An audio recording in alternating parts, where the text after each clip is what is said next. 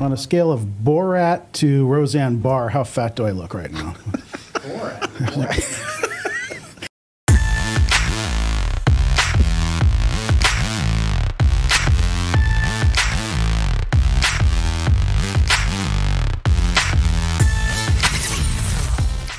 So this is officially the second episode now of Yucaipa 360, uh, our new podcast. So we did the dry run with you, and then uh, then we we uh, worked out some kinks and we recorded a, a first episode um, uh, with uh, Trevor Benson on on public safety, a timely um, issue with our uh, homeless strategic plan coming up on its first year and all the success we've had there. So if you haven't had a chance to watch that episode, um, it's uh, it's really good. This is going to be a great way to connect with the community. I think all too often, government is this kind of faceless machine, um, and more and more people have a, um lack of trust in local government. Um, and uh, I think um, this long format podcast, which has become so popular, um, you know, the most popular podcast in the world right now is um, Joe Rogan Experience, right? And and some of those episodes are two hours, three hours long. So we're going to be here a while. All right. No, we're not going to go that long, but As long as I have enough water. yeah. um, but I, you know, I think one of the reasons why um, they're so successful is that in this age of you know the 24-hour news cycle and and these prepackaged messages and short attention spans where people are watching you know 30-second videos and everything just seems so packaged up for you, right? Um, uh, I think people are hungry for something that's genuine and real, right? And um, this format allows for people to listen in on a discussion, right? It's just it's real people talking, no scripts, um, and you know it gives people an opportunity to get a sense of someone's personality. And I think I think that lends itself to a, a building of trust, which is so badly needed in in in government right now at all levels. Yeah. you know, and, and we see it a lot here in local government.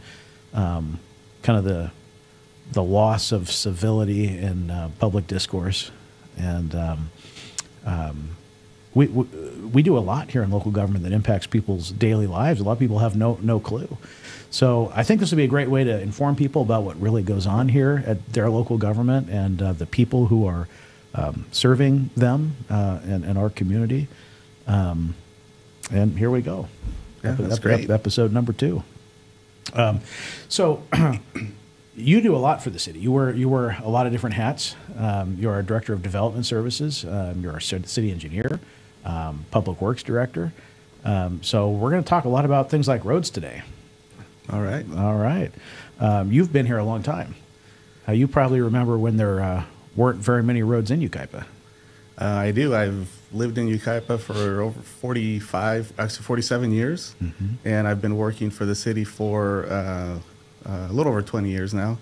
And yeah, uh, I remember when there was only three traffic signals in the entire city. Now we're over, up to over 30, well, 34 actually. So yeah. yeah. Wow. Yeah, not as many roads uh, back then as there are now. Yeah, definitely. no, I bet. So what? So what? You you weren't born here though. Uh, no, I wasn't. I was actually born in, in Mexico. I moved to the United States when I was five years old. I moved to Yucaipa when I was five years old. Okay. Yeah, you know, and uh, many many years ago, actually, uh, I moved to Yucaipa and to the U.S. the day that Elvis Presley died in 1977. Wow. So, when people ask me how long you've been uh, living in Yucaipa in the U.S., uh, yeah, Elvis Presley. Wow. yeah. Wow. So, Well. but yeah, I've seen the city So grow. so so you went to probably Yucaipa Elementary. I went to Yucaipa Elementary, uh, Elementary School, and um, the junior high here in Yucaipa. At the time, it was Yucaipa Intermediate School, and then Yucaipa High School. Yeah. Wow. So growing up, uh, it was always your dream one day to to build roads. It was my. Uh, yes, of course. Yeah, it was. it was. What, Yeah. what what made you want to be an engineer? Um, I've always liked the math and the science part, but um, you know, I do remember one day a funny story when I was a kid.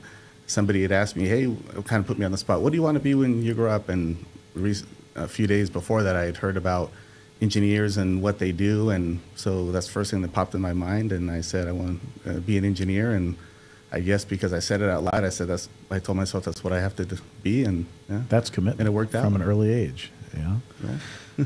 so uh, where where did you go? Uh, where did you go to college to become an engineer? I went to uh, University of Redlands uh, when they had an engineering program, and uh, I, I received my degree in engineering, and then I actually worked in the mechanical engineering field for several years before uh, I uh, switched to civil engineering. I took some courses at uh, Cal Poly Pomona, and I'm a licensed civil engineer in the state of California. So Okay. So, so Cal Poly Pomona is where uh, you got your engineering uh, degree, or was that at Redlands? Uh, it- my engineering degree was in Redlands, Okay. and when I switched to civil engineering, uh, in order to take the, the the test to get my civil engineering license, I took some courses at Cal Poly Pomona. Oh, I see. Okay. So, uh, University of Redlands at that time was their engineering program any good? Um, I, I, it was great. It was, Was the it? best one around. Really? uh, is that where you learned how to how to do this?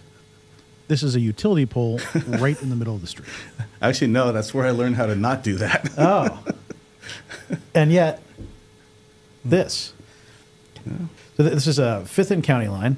Uh, I got to say, I I think this shows real uh, outside of the box thinking. Right? yeah, it's Yeah. out of the box thinking, and it's, it's uh, in the middle of the road thinking. Actually, Yeah, no, in, in the middle of the road thinking. Um, so you know, naturally, this uh, uh, this was all over social media. Um, uh, it was posted on Yucaipa Bolton you know, Facebook page. It had uh, 665 reactions, 264 comments, and uh, th- these these are some of my favorites. Okay, so um, Sean Murray said, "You had one job." I think he was talking to you. Uh, Kim Figueroa said, "Well, now that ought to slow people down." It's a positive thing. Yeah. Uh, I'm not sure what kind of name this is, but RC Alabama, this must, I don't even know if this is a real account, said, and the winner for It's Not My Damn Job goes to. this is good. Joseph Larson says, It's the motorcycle slash smart car lane. yeah. And um, uh, probably my favorite, Eddie Moe's challenge accepted. okay, so what? In all seriousness, I mean, th- th- this was pretty embarrassing for the city.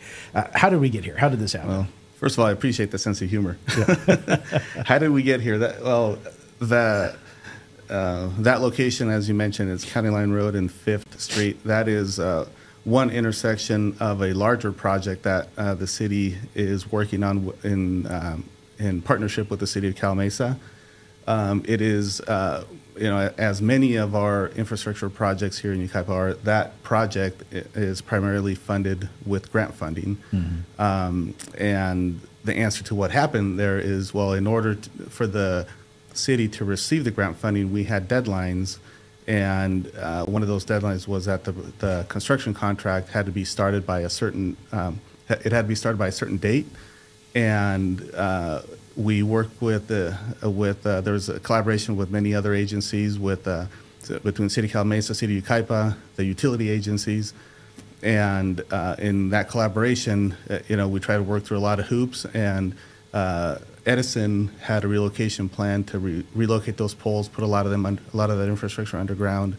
Unfortunately, their timing didn't line up with uh, the grant funding deadline, so we had to move forward. The city of Calimesa and the city of Yucaipa had to move forward, had to move forward, and complete the construction work, or at least start the construction work way ahead of Edison, and um, otherwise we would lose the grant funding. So it's, uh, it, you know, this is, it was a large project, and when you're trying to collaborate with a lot of agencies, a lot of utility agencies, Edison, Frontier Spectrum, it, it and try to meet deadlines, that unfortunately that's one of one of the results. No, I got to say that that that County Line Road project has been so incredibly frustrating um, because there are so many different um, entities involved. Um, you know, and it's a partnership between two cities too. It's not just the city of Yucaipa; it's the city of Calimesa, and um, you know, it- you know, we're waiting on Edison and and you know other, various contractors and trying to get everything was coordinated and lined up, but uh, sometimes things just don't go just don't go uh, to plan, right? Right, right, yeah. And So, yeah. so, so what, what, what is the current status? Status is this uh, is this uh, cleaned up? Now, I assume that pole that pole is not there today, so it must have been uh, worked out. Yeah, so that pole is not there uh, today. That that new roundabout at County Line and Fifth has opened up for traffic, um, and uh, it hasn't. The project isn't completely done, and by that, uh, if you're driving along County Line Road, you'll notice that Uh, we haven't completed the paving uh, of the road. The reason for that is because uh, there's another utility agency, uh, the the water company, um, South Mesa Water, who is going to be installing a brand new water line on County Line Road, essentially from the freeway uh, east to Douglas, which is uh, uh, over two miles, uh, actually approximately two miles. And so right now, they have started that work. They started down by the freeway. Um, in the last couple days, that roundabout at County Line and Fifth has been closed during the day because they're installing the water line through that roundabout. And that, that in itself is going to be a lengthy project. They're telling us that it will be completed uh, early 2025. So once that is completed, then we will repave County Line Road. And in the, in the meantime, um, the contractor is scheduled to move in in September and complete the roundabout at Third Street and County Line Road. So if you're driving through there today, there's a roundabout at at uh, California, Second Street, and at Fifth, and one remaining one at Third Street. So Okay. All right. Well, anyway, I'm glad that that pole issue uh, was was resolved, and Me that, too. That uh, embarrassment is finally over, or uh, or is it? Let's take a look at what's going on here. What what what what what what happened there? That is a very large speed uh, bump. it's the world's largest speed bump ahead. Yeah, yeah. Uh, yeah, Now, what, did you learn this at, at, at Redlands or Cal Poly? I learned this at uh, Yucaipa Elementary School. Oh, actually. okay. All right. Well, that makes sense then. Uh, what happened here? Uh, that's uh, we we have received a lot of questions uh, uh, um, about this, um, and also the city Calimesa has also received a lot of questions about this. This, uh, you know, th- this is at Bryant Street and County Line Road. Um, uh, a lot of the work that was done at this intersection at this roundabout. You can't see because it's all underground. The whole storm drain system to get the storm water from one side of the intersection to the other is all underground. Well, um, uh, uh, while that storm drain was being completed, there uh, the water we we got some storm events, so the water was coming down County Line Road and then turning uh, left or south on Bryant Street, and and we hadn't completed some of the curb and gutter along Bryant Street, so there is a potential that some of that water may go into private properties. So one of the ideas that we had is since it it's a temporary traffic control plan, uh, the contractor installed a speed hump to keep the water on County Line Road to prevent it from turning south and potentially flooding those properties. So it's it's a temporary measure for drainage, and it also serves as a traffic calming device because the project isn't completed. But once the project is completed and we repave the road, that world largest speed hump will be no will no longer be there. It may be a traffic calming device, but it's certainly not a social media calming device. you know, this has also been a popular uh, a popular one on on social media, but. Uh, you know, there really are reasons why uh, the, these things happen, and um, uh, when this project is is complete, it's going to be very nice. But it is a massive project down County Line Road with a lot of moving parts. So uh, I, I know Yes. I know you and your team are are, uh, are, are, are working hard on it, and um, I think eventually the residents will will appreciate it. But I, I know it has been um, an inconvenience for, for a lot of people, so we're we're looking forward to, to that being that being done. I'm wondering though, um, if the problem with, with with this project is really that you're spending way too much time on the golf course. yeah, apparently it is. See, Well. there you are on the on the golf course. Yeah, with Ryan Miller, our uh, economic development analyst. He's a bad influence, I think. He probably Uh, yes, pulled you out there on the golf course. Yeah, but if- if you ever see me play on the golf course, you would know that no, I don't spend enough time on the golf course. I should be spending more if I want to get better. you must be one of those part-time employees I've been reading about on social media. Oh, yes. Yeah, yeah. if by part-time I mean what, what 50, 60 hours a week, right? Uh, yeah, yeah, that's part-time. You wear you wear a lot of hats here. Um, uh, Director of Development Services, City Engineer, Public Works Director, and you are involved in a, a lot of the projects um, that are going on uh, in town. Um, and one of those over the years um, has been uh, roundabouts. And uh, roundabouts, I think, creative solution to, to a problem, but have certainly been um, controversial. A um, lot of social media chatter about about roundabouts, especially in light of uh, the city's uh, financial challenges right now. We're we're working our way out of a, a structural deficit. Um, but I did, what, this is a this is a good uh, uh, post on social media um, from uh, from Martin says, um, I received a mailer regarding the financial issues for the city and sort of asking for thoughts.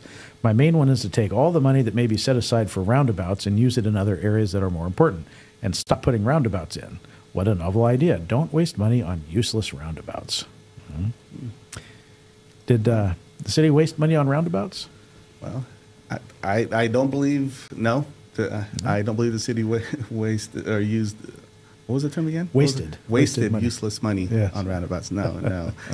No, it- you know that's uh, um, that's one of the the questions that I do receive a lot. You know, there's uh, there's so many um, roundabouts are uh, generally new thing, uh, right? You know, there's all these studies that have been done that say that they move traffic more efficiently, they reduce major the number of major traffic collisions and stuff. So so so that's why our city council decided to go down that road. But uh, one of the things that's important is that when if the, since the roundabouts do uh, make it more efficient for traffic for traffic to circulate, um, the the roundabout projects are a capacity enhancing project, which means that you're enhancing the capacity of the roadway, and the the uh, funding that the city has used over the years for the roundabouts is funding that we receive uh, through uh, or, or uh, Measure I funding, which is a the half cent sales tax that was. Uh, um, approved by the voters in San Bernardino County back in, in 2004, I believe. Uh, 80,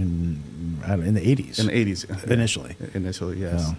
Yeah, so, so the city receives a certain amount of funding each year of that Measure I funding for capacity enhancing enhancement projects. So, so the money that is used for roundabouts is that is that Measure I funding that can solely it can only be used for capacity enhancing projects. We can't use it for anything else. And uh, uh, the other funding source is our development impact fee revenue, which is also uh, um, intended to be used for uh, enhancing the capacity of our arterial streets. So, so no, it, uh, we the money that was spent to construct the roundabouts was money that was intended to increase traffic e- efficiency and traffic circulation. Um, so. Um, But uh, you know, so you're talking about the Measure I money. So Measure I is a half cent sales tax charged countywide, and we get a portion of that back. And there's there's there's two pots that come with that, right? There's the arterial and then the uh, the local road uh, section, right? Yes. And so the roundabouts is it was the arterial, uh, correct? Uh, and so and, and that comes with a, a match. Uh, so it's I believe a twenty percent match that we have to. So eighty percent comes from San Bernardino County Transportation um, Authority Measure I funds, right? Right. Uh, and then we have to come up with a 20% match, which, we- you know, often we, typically we use development impact fee monies there. Right, Right. and and uh, yeah, there, there's two different pots of money. The Measure I arterial money is uh, is that that eighty percent. The other twenty percent, it has to be revenue from development, which is that development impact fee. Correct. Okay.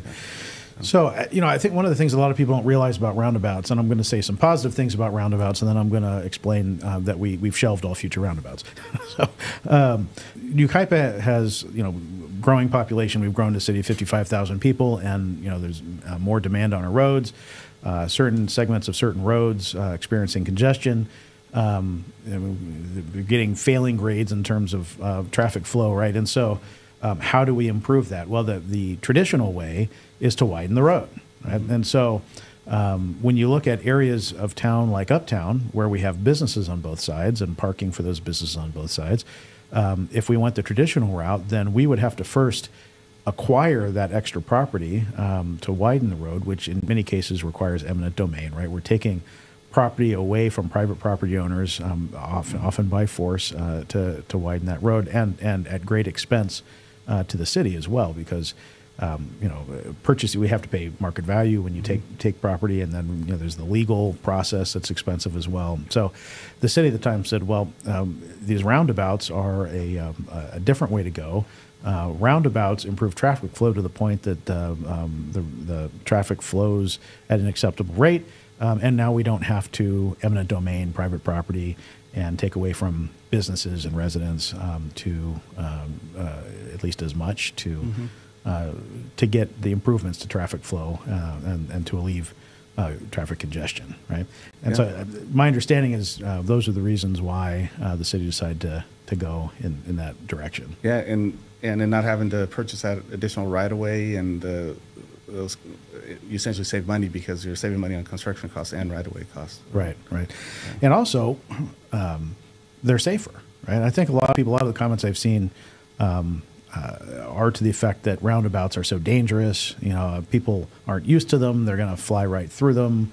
Um, uh, and um, while I think you know it may be true that there are uh, a slightly greater number of accidents with with roundabouts, they they are far less severe, and um, in terms of serious, life threatening, and and fatality accidents, much much lower um, with roundabouts than traditional um, intersections.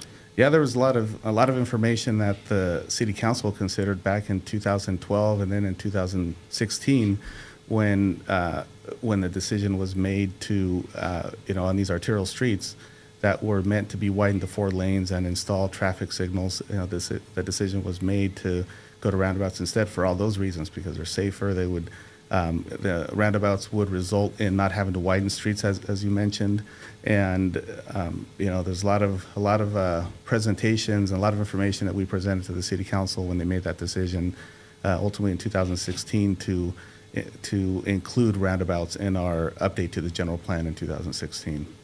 We have an interesting video, and it shows um, it shows two intersections, um, one with a roundabout on the same road. So traffic's coming down, one on a roundabout, traffic flows through, comes to the second intersection, which is a traditional intersection, and the traffic all backs up. So let's let's take a look at it. So on the right here we have the this is the same road. On the right here is the uh, the roundabout, no traffic backing up at all, and it comes down the street and um, up here on the top left, and now all of a sudden traffic is uh, is backing up. To me, that's a great visualization. Yeah, you, you can, you know, one of the things in traffic engineering, how you measure the efficiency of a roundabout is how many seconds you have to wait at an intersection. And you can see on the top left at 3rd Street, the line of cars that were, you know, you have to wait several, you know, seconds, uh, a certain amount of time to get through the intersection. Mm-hmm. Yep. So now that yeah. we've talked about how great roundabouts are, um, I will say that we have uh, shelved uh, uh future roundabouts that that, that were uh, in the pipeline, at, at least for now. Um, and I think it's right that we do that. I mean, as, as we mentioned, the, you know, the city's uh, in a, in, a, in a deficit, um, and that's not just um, you know, uh, when it comes to, to, to road maintenance and, and road mm-hmm. projects, it's not just a question of, of dollars, but also of staff resources, mm-hmm. right? We, we, can only focus on so many things um, at a time. And so uh, we're, we're really focusing on kind of the core functions of, of local government right now. Yucaipa's roads are um, a, a, challenge to maintain, right? Because we have uh, uh, 209 miles of public mm-hmm. roads for a city of 55,000 people. That's a lot. Um, we're spread out over 28 square miles. Yeah. I think because we're more rural than a lot of other communities, we're more spread out. So we have more miles of road per capita than than most cities. So there are fewer people paying in into that system. Um, but maintaining 209 miles of public roads is very expensive, and so we have to really prioritize. Um, um, you know where we focus um, uh, the dollars that we have to spend on roads um, and the, the, staff time um, uh, that can be de- devoted to that. And so uh, we're, we're, focusing on maintaining our existing network of, of, of roads. Um, I am very happy that uh, this fiscal year we were, uh, the council adopted uh, a record high uh, budget of $4.1 million um, for, for road maintenance, road repaving.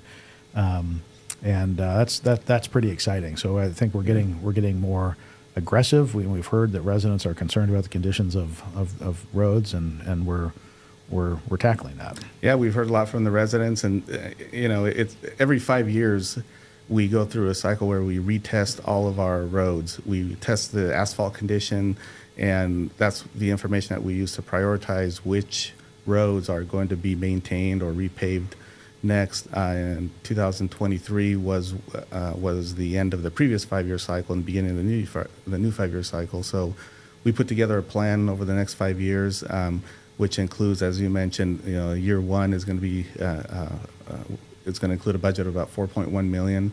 Uh, and that compared to the um, for the previous five-year cycle, where we averaged about 2.2 to 2.3 million per year, it's almost double the budget. So we're focusing on the road maintenance, um, and not just as part of our larger uh, road maintenance component, but but you know we've made some some changes to our public works uh, process and our you know and by that I mean you know we have some additional resources, some additional equipment where we can address potholes uh, Yeah. you know right away. Uh, uh, the uh, uh, the City of Yucaipa app has been very useful in that you know people have been able to report issues out in the public roadway, whether potholes or anything else, and and uh, uh, it's been it, it's been uh, uh, I feel like we've we've uh, we have definitely improved our response time and uh, to our response time to these reports of these road issues and potholes and and uh, along with the equipment, our city council has also um,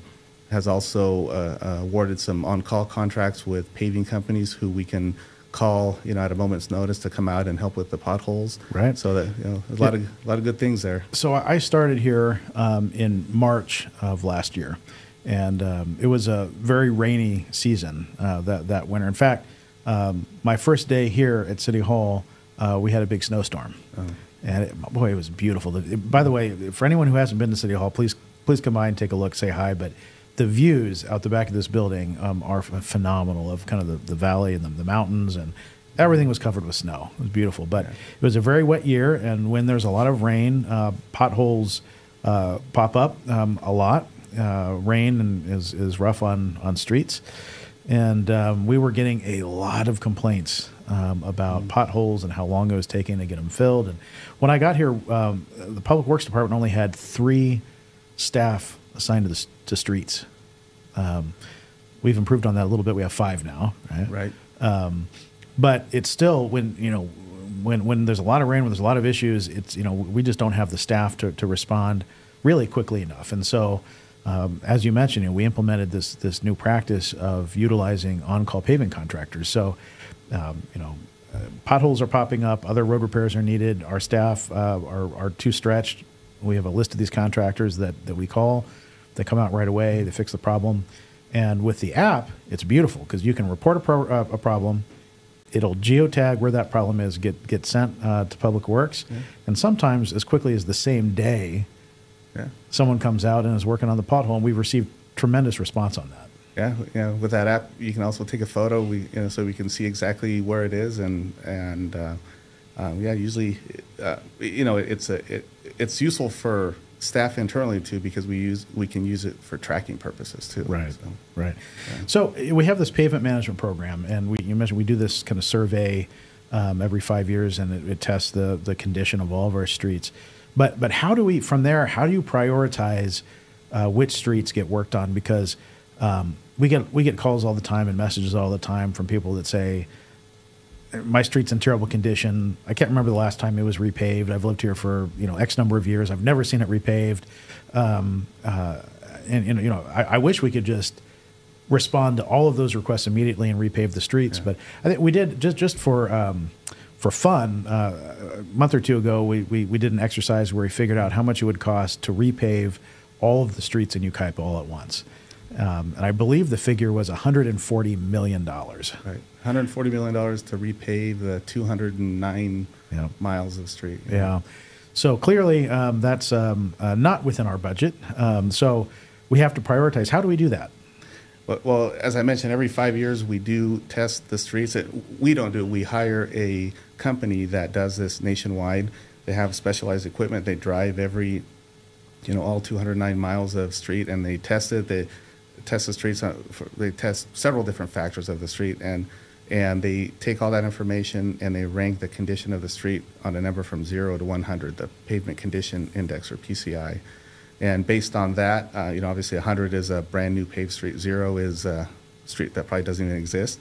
So we take that information along with uh, the traffic, the average daily uh, traffic volume on that street, the classification of the street, whether it's a residential collector or an arterial street, and also the land uses adjacent to the street. So all four of those factor, factors play a role into how we prioritize those streets. So, um, you know, you might have a, a short cul-de-sac where you have four or five homes on that on that cul-de-sac that only you know only the people that live on that cul-de-sac maybe there's a total of 12 or 15 trips per day that compared to a, another road where where it's a collector street that serves several neighborhoods, you're going to have you know higher traffic. So you know all of those things play a factor. We we prior, we prioritize the list and we we present it to the city council as part of our draft pavement management program for the next year. And um, you know, with input from the public and city council, and there there's some adjustments that are made, but essentially what that final list is, that's how we that's what we use. For, So when you say uh, adjustments can be made based on input from the public, uh, wh- what would an example be? So, for example, if um, someone were to take you golfing, would would their street be prioritized? absolutely not. No. Okay. All right. Just saying, if Ryan Miller's street gets paved, I'm going to know why that happened. Uh, no, some of the, the, the input that we receive is related to um, somebody may, be, do- may have some planned utility work where if they're going to be trenching in the street or doing some other work, then, and, and then we put that street off a few years and we bring in another street in. But yeah, there's, uh, um, yeah, and you know, this year as part of putting together that plan, we had a couple community meetings where we involved the public. Um, you know, we had a public outreach and and there were some people that uh, that reached out to us and, and said, "Hey, you know, I've lived here for, uh, you know, since the early '70s, and no, this street has never been maintained." Before the city was even a city. Yeah, before the city was even a city. So Yeah. we, we went back and looked at it specifically, and and um, you know found out that there were some, um, you know, the, the equipment that we use to measure it can only detect certain things, but uh, obviously what what what um deteriorates the asphalt is what's going on on the edges mo- most of the time. And if you have the vehicle that's eight feet wide that's driving the, the lane, then maybe they're only measuring that. But what's causing the issues is something outside of that. So those are the kind of factors that we look at. Interesting. Interesting. So now that the pavement management program has been adopted, uh, I think you know we're going to start to see some major road work uh, in a few stretches here pretty soon, uh, in September, really. So give us an idea of what uh, what people can expect to see here in the short term. Yeah, so the, our city council has already awarded two contracts. One is our rehabilitation, our pavement rehabil- rehabilitation uh, program, which is a program which will completely repave streets. The other one is microsurface, where you take a street that's in pretty good condition and we just need to seal it, make it more, make the surface more level, uh, seal it to keep the water out because that's what what deteriorates asphalt. Uh, both of those contracts have been been awarded, so you'll be, um, uh, you know, we're we're working through all the details details with the contractor right now. So in the month of September and October, we'll be seeing a lot of uh, uh, repaving of streets. Um, some of the major streets, that, major streets that will be repaved is, uh, you know, Fifth Street between Wildwood Canyon and Avenue H. Um, a portion of Yucaipa Boulevard. Again, these are some of the arterial streets, but but along, but also with that is a, a lot of our residential and collector streets throughout the city. Now, Fifth Street, that's going to be a, a full closure of Fifth Street, right? Yes. Okay. Uh, about what Yeah. time frame are we expecting that to happen? Uh, that is going to be uh, middle of September. sometime. Yeah, and it's a full closure because of the, the nature of the roadway. It's just, it's not a straight road, and it, it's best to just close it so you don't. Uh, sometimes you can pave half of the road at a time, but here because of the curves, it's just better to close it. So, yeah. Yeah, it, it's amazing to me. Traffic engineering really is a science, uh, and I think a lot of times people um, believe that you know we can just um, um, run out and, and, and fix a road or throw up a stop sign. And you know, very often stop signs are one we get we get a lot. Stop signs and speed bumps, right? Like Right. uh, people are speeding down our street. Can you guys put up a speed bump or put a stop sign here? Um, and uh, you know, we, we often get requests from members of the city council who have heard from their constituents. And, uh, you know, we've got a, we, we think this is a dangerous area on our street. You know, can you please install a stop sign? And, uh, you know, I, I wish it were that easy, but um, we really have to study those things. There are you know, these, Yeah. there are these you know, people who go to school and study traffic engineering, and, and there's a science to it. Um, stop signs are a great, great example. Uh, if you install a stop Yeah. sign somewhere where one really isn't warranted, um, very often drivers will start to just ignore that stop sign. I think we've probably all experienced stop signs like that where you stop and you you look around. There's there's no one there. The next time there's no one. There's no one ever there. And you think why why am I why am I stopping here? This is silly. So pretty soon cars just um, uh, decline to stop and they, they just blow right through it. The same, but in the meantime, a pedestrian comes along and they, they see that stop sign. They, they have a false sense of security because there's a stop sign and maybe a crosswalk there. And pedestrian crosses, cars are ignoring the stop sign. It's a very dangerous situation. So those are the kinds of things that traffic engineers analyze Right. and decide whether um, you know uh, whether the the requested uh, measure, like a stop sign or a speed bump, is is warranted and whether it's safe. Yeah, a lot of those traffic, uh, uh, the traffic control devices actually, you know, we can't, like, as you mentioned, we can't just install a stop sign or even a, a traffic signal or speed hump or a crosswalk. We have to go, there's a process that the, that the state of California has in place to go through that. It's all about liability, right? Like, as you mentioned, if we install something that's not warranted and something happens, then the city could be liable because it wasn't warranted. We didn't go through the proper uh, warrants and studies to do that. So and we do get a lot of requests for stop signs and and uh, speed humps, but uh, all of those crosswalks, speed humps, uh, um, traffic signals, they they they are. Uh, we have to go through that process just to make sure that they that they're warranted. Well, and if we don't, then there's a it's a tremendous liability for the city. Yeah. Yeah. So Yucaipa is really um, it's actually kind of a, a family affair uh, for you, isn't it? Um, you, you have a, your daughter uh, Mia uh, also works in local government here in Yucaipa for the Yucaipa Valley Water District. Yeah, she does. She's also uh, an engineer, and she's uh, been working at Yucaipa, Yucaipa Valley Water District for, oh, time flies, two years. Is that it? Yeah, well, it might be four years. I don't know. Three Think- years, maybe. I think Three it might years. be yeah, three or four years. I think she's Three been there, been there for a while. Yeah. Yeah. Now, where did she uh, go to school for engineering? She went to San Diego State University. Okay. Yeah. Is their program better than Redlands? Oh, of course. Okay, good. So, who, who, who, who, who's, who's the better engineer? Uh, I would have to say that she is. So, if she were the city engineer, would County Line Road project be done by now? Uh, it would have been done two years ago. Is she is she looking for a job? Well, I, I hope uh, Joe Zoba's not listen, watching or listening to this. Oh, well, you know, there are a lot of things about you, Fermin, that, that a lot of people don't know. Um, one of them is that you are a huge Swifty. oh my gosh. Do we have a picture of that? Look at this. Look at that. That's you in a Taylor Swift T-shirt. Uh, you, you, you actually you went to a Taylor Swift concert not that long ago. I heard. Uh, okay, next. You don't want to talk about this a little bit, a little bit, a little bit longer. Um, yeah. So I mean, y- you and your family have been in Yucaipa for for a, for a long time. I live in Yeah. Chapman Heights. I think you probably um, uh, played there as a child, and, and what Yeah. you know used to be was it Orange Groves there, and Yeah, growing up, I lived on Oakland Road, and yeah, I remember uh, jumping on my bike, and yeah, where where was the house that you grew up? uh, it was right across the street from the community park. Okay. Chap- Chapman Heights homes are built there, but yeah, right across the street from Chapman, Okay. from from the regional park and the community park. Okay. Yeah, I grew up there, and yeah, that was back.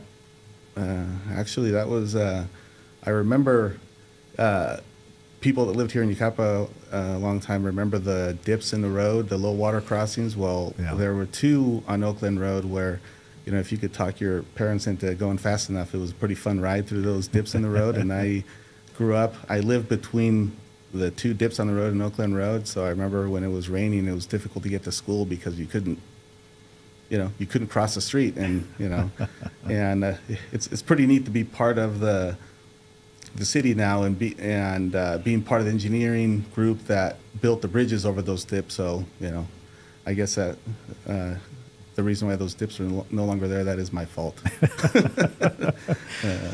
I mean, you, you've seen a, a lot of change Yeah. uh, in the time you've been here. Uh, you know, as you think about where the city has been and the direction we seem to be going, um, what, what's exciting to you, and also what concerns you? Not not as an employee, but as as someone who um, has been here pretty much their entire life and has seen things change. Uh, what's exciting? What concerns me? Well, um, you know, in the late '70s, early '80s, um, I have a lot of friends. I grew up here. We were in with a lot of family and friends. Some of them who still live here, and and they often make comments about, you know, uh, we need to keep Yucaipa rural, keep Yucaipa eh, that rural feeling, and to a certain extent, you know, I I I have the same sentiment, but now being involved, being involved in local government and knowing how it works and how um, you know the revenue that's generated, you know where it comes from and and what that goes to. Um, uh, uh, the I know that that we need a certain amount of development to to to be able to sustain the city of Yucaipa. Right. And um, you know, one of my my concerns is that um, you know there's a, is, and I have this conversation with people uh, outside of work all the time. You know, well, you've lived here for a long time. You you need to you know help fight and keep Yucaipa rural, and you know no development and this and that. And I try to explain to them, you know, that and in a perfect world, yes, but in reality, if we want to make Yucaipa sustainable, we have to have uh, responsible growth Right. you know, and um, you know, I've been fortunate enough to be part of a lot of that growth um, uh, throughout, you know, over the years, and and so the the concern that I have is is, uh, i- and I want to help, I want to help people understand that you can still maintain that rural feel, but still have the responsible growth that we need to build that tax revenue to be able to provide the services that people are used to. I agree, and I, I think that really is our our task here, right? I mean, look, I, I moved here in 2015 after looking around at all the other cities in the region and decided on Yucaipa for a number of reasons, but the more rural nature was one of the big reasons. That and the people that live here, and just being such a patriotic community and a community that embraces public safety and um, you know just just all the the things that make you Yucaipa a unique community. But our our rural more rural feel was definitely something that Yeah. that, that attracted me. Um, and, I, you know, I, I want to hold on, to, hold on to that as well. Um, but I, I think you know when people tell me you know we need to ma- remain a small town. I mean that ship has sailed, right? I mean we're, we're we're a mid-sized city of fifty-five thousand people now.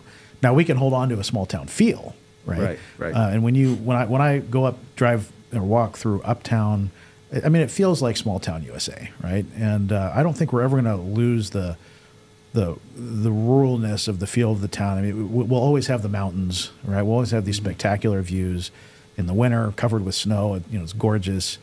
Um, but given that we've grown to fifty-five thousand people who all need services, um, you know, our, our revenue our revenue sources have not kept up. Right. Uh, we've built a lot of rooftops. The commercial has lagged behind.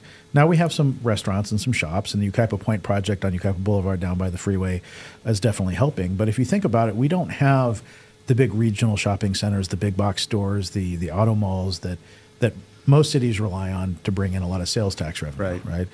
And so as we've grown, and and our cost of providing services to those areas have grown. You know, road maintenance, police, fire, et cetera. And as the cost of public safety has grown exponentially over recent years, um, you know, we, we just our, our revenues haven't kept up, and that's why we're, we're facing such a, a big a big deficit that we have to work our way out of now. But I, I think you know, this community is going to have to face a, a, a reality that you can't have it all ways, right? You can't say, I don't want any development, and at the same time, don't tax me, but I want all the services. Right? Something, Yeah. some, something's got to give, right? Yeah. And I, I think long-term economic development has to be the solution, right? But as you mentioned, done in a way that that we're not losing the unique look and feel that is the city of Yucaipa. Right, right. And to answer the second part of your question, you know, one of the things that excites me is that, you know, we have we have some we have several opportunities in front of us that can lead us towards that long-term economic development. And um, uh, you know, one of the I guess one of the things that excites me is to try to, uh, uh, you know, I, I'm uh, you know in my role is, and also with our our deputy director of community development, our city planner Ben Matlock, our role is to collect all the information, collect all the facts, and based on what other cities have done and what's worked in other cities and what hasn't, you know, present that information to the planning commission and the city council, and say, hey, based on every everything that we've done, all the facts, this is we what we feel is the best for the community moving forward from a from a land use and zoning uh, perspective, and and not only that, you know, uh, t- all of those. It, it's not only our it's not only our recommendation, but it's also this has gone through the process. This has been vetted, and it's it, it's it, it's not like you can just. Um, uh, drive by an empty field or, an, or, or a vacant piece of property, not knowing who owns it or anything, and say, "Well, I want the city to build this there. Right. Well, it's not that easy because first of all, the city doesn't own the property. It's up to the property owner whether they want to do something or not, and then there's a process they have to go through. Yeah. So Uh, that's another thing we get a lot in local government, not just here but everywhere. Is why don't they build the following use on, Right. on on that property? But there is a thing uh, uh, called private property rights uh, in Right. this country, and and um, e- even in uh, California, believe it or not. um, and uh, you know, we, we, the city doesn't have a right to dictate what goes where. We do have zoning in place. Yeah. We have uh, allowable land uses, but but within those parameters that are established in our in our general plan and our zoning.